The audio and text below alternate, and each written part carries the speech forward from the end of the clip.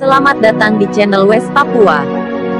Ikuti channel ini agar Anda dapat update terbaru dari kami.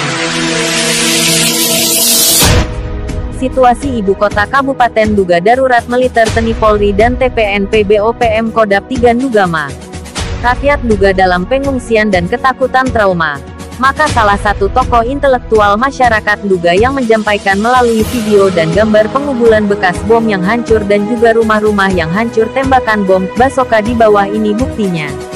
Dan penjelasan tokoh intelektual masyarakat Duga, bahwa pemerintah Kabupaten Duga tidak ada satupun di ibu kota Kabupaten Duga dikenyam.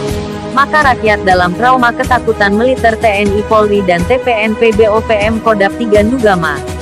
Penembakan yang terjadi di ibu kota Kabupaten Duga Papua oleh kedua belah pihak TNI Polri dan TPNPB, OPM Kodap 3 Duga, mengakibatkan kerusakan rumah-rumah warga di jantung ibu kota Keneyam Kabupaten Duga.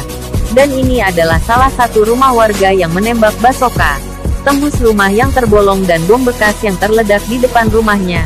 Buktinya di lapangan gambar di bawah ini. Penembakan ini terjadi pada hari Sabtu tanggal 2 April tahun 2022, malam harinya. Dan satu pun tim independen kemanusiaan Trun Astasi kejamanan masyarakat yang ketakutan dan kelaparan sangat sayangkan. Maka situasi Duga apa yang terjadi di sana kami tidak tahu maka kami minta pemerintah Duga.